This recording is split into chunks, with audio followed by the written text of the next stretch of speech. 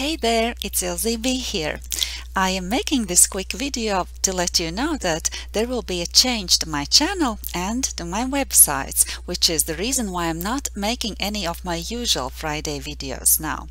So stay tuned and I hope to see you soon again. Bye!